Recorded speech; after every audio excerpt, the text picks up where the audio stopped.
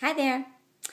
I'd like to show you the squish walk in this video. This is another great movement in Nia that will help strengthen your ankles, your feet, and also your lower calves. And it's fun because we get to pretend like we're squishing oranges. So I'm going to bring the camera down here so you can see my feet. Now squish walk begins with coming up on the balls of the feet and then allowing one heel to come down, coming back to the balls of the feet and allowing the other heel to come down. So you can imagine that you're squishing an orange, lifting on both balls, one down, up, down, up, down. It's great to check in with your balance too. It'll kind of give you a clue where you are with that. Up. Imagine squish, squish, squish. I remember I was at a training once. This is such a funny story. And the trainer was saying that she was in Australia. And so she said, Imagine squishing a kiwi.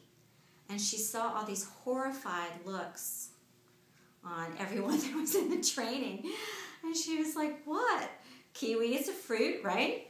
At least that's what she's thinking.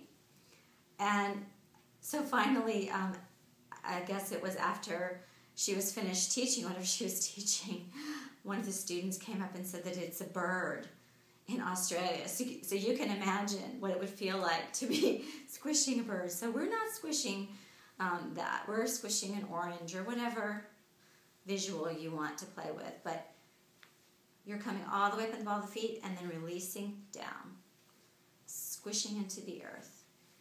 And this movement, although it doesn't look like much, you do it for any length of time, which I did in green belt training. I don't know, we must have done it for 20 minutes.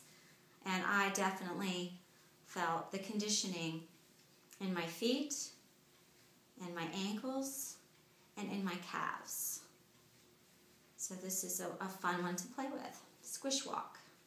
Squish, squish, squish, squish, squish, squish.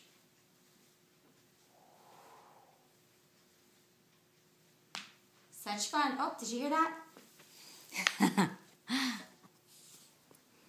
That's the squish walk. Bye for now.